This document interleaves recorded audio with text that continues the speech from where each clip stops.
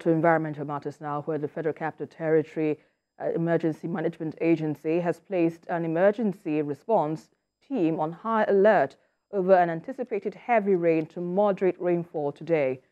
The Director General of the agency, Abbas Idriss, made this known in a statement signed by the agency's head of public affairs, Nkechi Isa, in Abuja. Dr. Idriss says that a weather forecast by the Nigeria Meteorological Agency had indicated that the FCT and its neighboring states would experience heavy to moderate rainfall today. He added that the forecast also predicted moderate to heavy rains in the parts of Katsina, Kano, Bauchi, Plateau, and Taraba.